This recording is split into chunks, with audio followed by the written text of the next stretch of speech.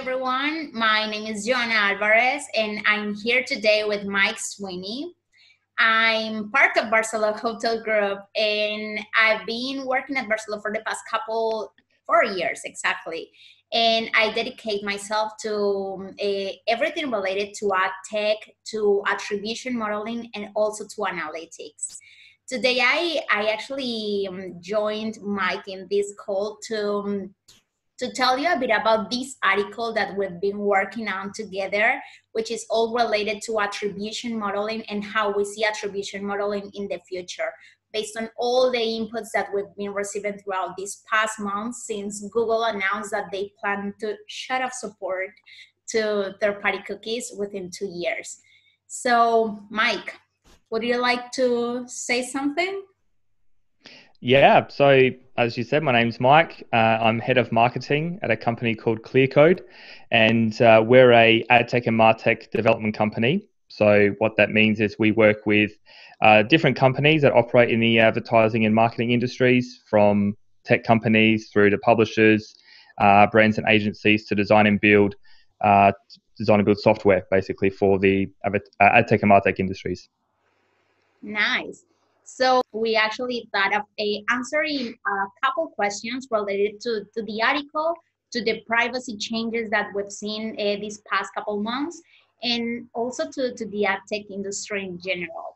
So we prepared those seven questions and we plan on uh, pushing out those questions in small videos, basically like um, short videos of two or three questions is each time. And today we'll be answering the first two one of the things that we would like you to know as well is that if you have any question in mind that you would like us to answer, please let us know and we'll go for it for sure. So if you if you're ready, Mike, I'm ready and we can start answering the questions. Perfect. Excellent. All right. So the first question, should I answer it or do you want to ask it? No, you you go first.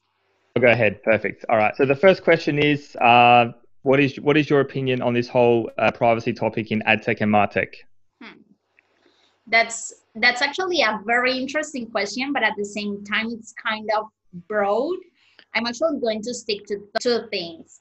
The first one uh, that comes to my mind when when you ask that is that these changes, these whole uh, privacy related changes, make me think so much about how certain companies are actually creating wall gardens and are actually seeing an opportunity in in a flow that's in the market to gain more market share. And that also takes me to the idea that we talk so much about how consumers supposedly are more interested on privacy and are more concerned on pri- eh, about privacy.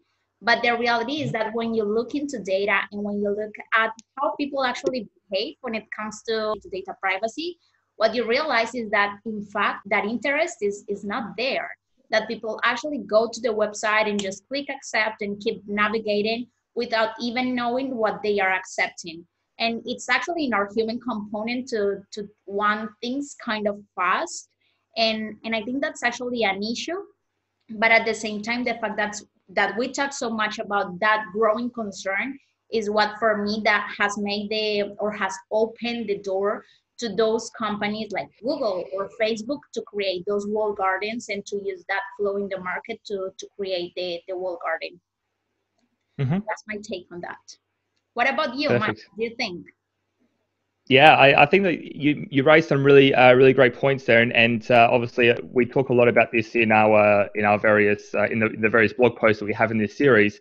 Um, but one point that you mentioned uh, a second ago about uh, users, you know, internet users, is that um, a lot of a lot of internet users probably don't care about about privacy, or they don't um, they don't understand the, the whole privacy topic in digital advertising and marketing.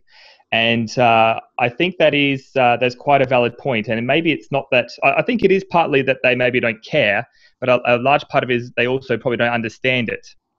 Totally. So, uh, um, and we've seen examples of this, you know, even recently over the past couple of years when uh, the European Union introduced the GDPR, and all these, um, you know, all these websites started uh, you know, Im- implementing these consent management platforms and asking users for consent, and of course, the actual format of those uh, of those forms looks looks different pretty much on every website, right? Um, but you, now you can you know we can see stories and, and see reports of um, of various opt-in rates, right? And of course, you know this kind of suggests that for a lot of users, they don't really care that much about about privacy, um, and they just they just want to access the content. They just want to get to the website, right? So yeah, I, I think that that's a that's a quite an important point. Is that it's not a, a blanket that you can just throw across the internet, because certainly there are a lot of um, internet users, particularly you know savvy uh, internet users that do care about their privacy. But I think the, the key here with this whole user privacy topic, and this is something that we'll no doubt talk about uh, with the rest of the questions and also in the article, is that uh, ultimately it should come down to giving users uh, choice. It should come down to giving users transparency and control. And uh, I think as as the industry, uh, both the advertising and marketing industries, they haven't taken user privacy into consideration with any of the technological advancements that have happened over the past 10, 15, 20 years. User privacy was never built in to ad tech or MarTech, right? So what's so now what's happened is governments have got involved, and web browsers have got involved, and other companies have got involved to to strengthen user privacy on behalf of consumers because as a as an industry they, they haven't done that themselves. But I think it is it is um, quite important that we give users control, transparency, uh, and choice, and the, uh, particularly with a lot of the the changes that are happening in web browsers, this is not happening because Safari and Firefox have blocked third-party cookies without actually giving users a choice whether whether they you know whether users um, you know block them or not. They've just blocked them by default. So I think that is that is quite a key element of this whole user privacy issue is actually giving putting in the hands of, of consumers and letting them decide. Um, but certainly there are some some areas of that that uh, where it's not happening. So so I, you actually touched on so many interesting things on on your answer and the first one mm. for me is the fact that that that people don't really understand what privacy is all about and the fact that that this whole thing is is actually difficult even for for lawmakers and for um, yeah for congressmen and for for companies itself it's like it's very uh, difficult to understand uh, many times a law that has so many great points in between. But in the end, for me, the most important part is that even the basic concepts for many people are like um, a topic that they don't really get to, to understand. And it's very important for me to actually differentiate or to actually make a point in the fact that this is actually a shared responsibility. And many times um, let's say that the responsibility is fully put on the company for uh, making sure that they are communicating the um, um, the message uh, like in a clear way. That was actually something that came up also with GDPR, and I'm actually very grateful that that happened because, in fact, in the past it used to be like, mm, I mean, of course, nobody understood what was going on because people did what they wanted, and that was it. But mm-hmm. it is clearer now, and the fact that it is clearer makes me believe, like deeply believe that there's also this shared this responsibility that falls in the user side and that people should also be that they shouldn't be waiting for a company to tell them what privacy is or what rights they have in terms of sharing their information because it is the information they, we are talking about right here and it is everybody's responsibility to know uh, what it means to actually share our data. And we, we will actually touch on this later on, and uh, we will both share our ideas on uh, how worried or concerned we should we are with respect to sharing our data. But yeah, I mean, I, I totally believe it is a shared responsibility, it, and it should shouldn't fall only on the on the company side, basically that is yeah. one of the things that you mentioned and, and that i that really stuck with me but the other one was also the fact that that the changes the latest changes are taking that um, that consent away from the consumer or from the final user and that's so important. I mean that's that's a point that we really need to make because users won't really have the opportunity of saying i do want to interact with this um, it's not that they really say that that they want to interact with a, a retargeting company in the end. It's not that that open but they don't have the opportunity of saying yes or no to that. The browser is um, it's going to cut it off by default as you mentioned. And and that's mm-hmm. a very interesting point. Yep. Cool. Yeah no I, to- I totally agree with that. And particularly when we're talking about things like consent and we've seen as we've seen with the examples of the gdpr is that you know there's like different there's different implementations of of even this part about consent with the gdpr right? You know we, we see some um, consent management platforms that you know do provide choice straight away where others try to you know sort of hide you know the, the, settings that make it a little bit harder for, for consumers to, to make that choice. So there are many different parts to this as well but when we're talking about giving users a choice it, it also needs to tick other boxes as well. We can't just simply say you know um, we can't simply show them a, a pop-up form and then have one button that says okay and another button that says more settings or something like that.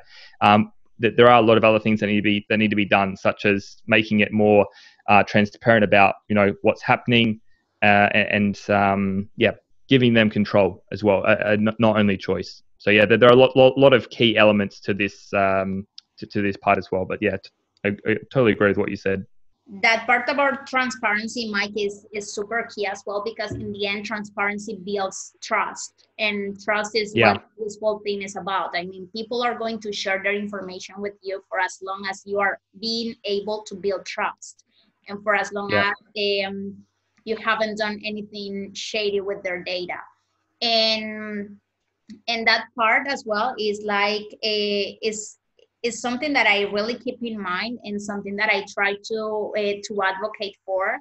That that idea about communicating, um, for example, the cookie your cookie policy or the message about cookies.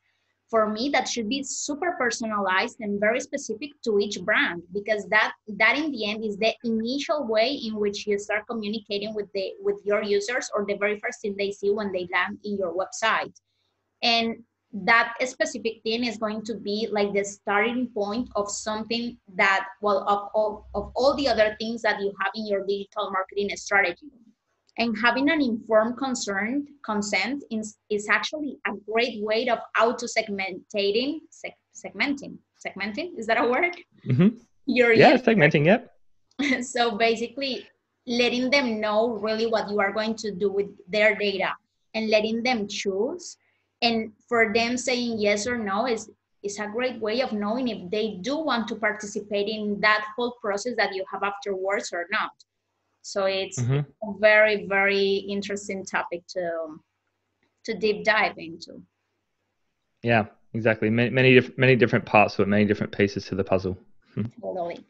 So mike what do you think will be the best approach for companies moving forward personalization and one-on-one measurement uh, via first-party data uh, or non-personalized number advertising and group level measurement? Well, that's a really interesting question because uh, these are essentially, you know, the, the, many of these are the sort of options, I suppose, moving forward for a lot of advertising and marketing companies and brands and, and publishers as well. The, the thing about third party cookies is that, you know, yes, it did underpin um, a lot of the key advertising and marketing processes. First of all, it was about identity, right? Third party cookies uh, typically used to identify people across different websites, uh, to run attribution and measurement, etc. Um, but the other thing about third party cookies, particularly in the context when we're talking about possible you know, alternatives or solutions uh, when there are no third party cookies available, is that third party cookies you know, can essentially be used by pretty much every company. Of course, you've got to do cookie syncing because of the technical limitations. You know, different domains can't read other domains' uh, cookies, so you've got to do you know syncing and, and matching up. But they, they could be used by um, pretty much any ad tech or martech company. When we start talking about things like first party data or you know creating IDs um, based on on email addresses, for example, these these solutions are are quite viable for a lot of you know big publishing companies, for example, that have multiple web properties mm-hmm. that you know can store these IDs in a CDP or some other data platform and allow that you know sort of create this identity across their properties. But it's really only can only be used in that context. They are very limited in reach. You know, first party IDs, first party data, etc., is very limited in reach. That's what one of the benefits of a third party cookies is, is the reach of it. You cross site identification right? So uh, I think the, the decision, getting back to the original question, but the decision to you know uh, go down this path of using first party data, creating IDs from email addresses or phone numbers or whatever, or you know using different uh, methods such as you know contextual targeting um, or you know wh- whatever happens with uh, Google Chrome's privacy sandbox, you know whether that is an option or I'm, I'm, certainly it will be. It's just not really sure what kind of form it will be in or what it will look like. You know, sort of using uh, more privacy friendly ways of, of targeting uh, ads and, and, and using that for attribution as well. I think it will come down to, you know, individual companies. I think individual companies will make these decisions based upon, um, you know, what method is is more viable for them. Because not every, I mean, when, when you think about advertising, for example, um, and you've got like a large publishing company that collects a lot of first party data that can you know create audiences that can be used uh, for ad targeting right they're in a good position to do that because they have a lot of different properties they got a lot of um, you know uh, you know, a big engaged audience, a regular audience. But when you look at the sort of small and, and medium sized uh, websites or individual bloggers, that might not be such a viable option for them because you know it might be you know too too expensive to sort of do that.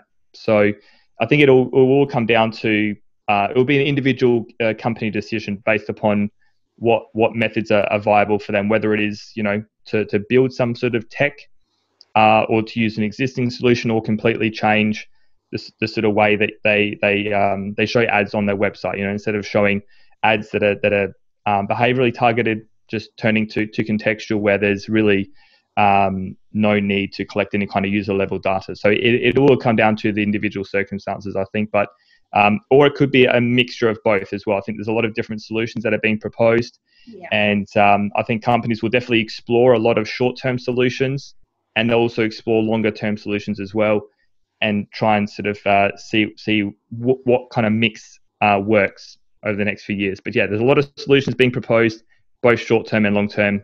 And uh, yeah, a, a, lot can happen. Mm-hmm. Hmm. That uh, that last point is actually the idea that I that I have in mind when I think about the future of uh, of digital advertising. And in in my very humble opinion, I I actually believe that it's going to be a mixture of, of both. You know that in fact, um, many companies are going to start betting very heavily on first party data and uh, collecting as much authenticated data as well as possible to then be able to run personalized on-site uh, experiences. For me that's going to be super key.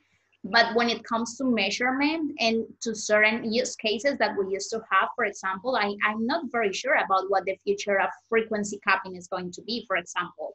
I don't really see a lot of future for that but when it comes to measurement, and this is something that we are going to cover in the in the article that we've been writing together, there's actually some light for that, and there's a, some there are some uh, solutions being proposed for attribution modeling specifically and for measurement in the future that although don't count on a user level data and um, don't uh, don't go down to that super granular uh, level data that we used to have allow you to to still measure and to still understand the impact that advertising is having on on the generation of revenue of, of the company.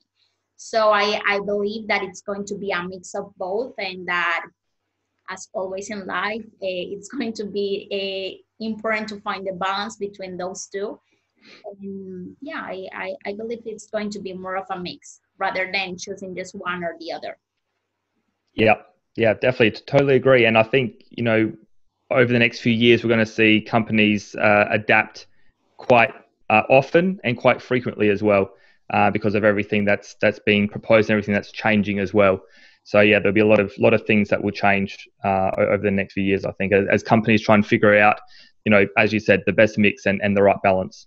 Totally. One of the things also that you mentioned, Mike, uh, was related to a short-term or long-term solutions. One second, uh, short-term or long-term solutions. And one of the things that I really advocate a lot for as well is running as much as possible for a, a run a, of short-term solutions.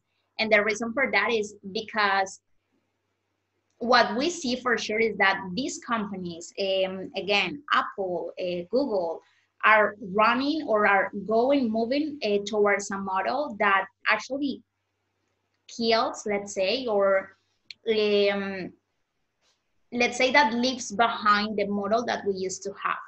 So if we try to stick all the time to what we had with workarounds and when sh- with short-term solutions, what's going to, hap- uh, to happen is that we will dedicate so much time to to things that these companies are going to end up like mm, cutting away at some point. And and I at, at this specific point, the thing that I believe it's the most plausible is actually focusing on on a, on building a very strong first party data collection and authenticated first party first party data, of course. And that's going to be the foundation for how advertising is going to to be based in the future. But we will see.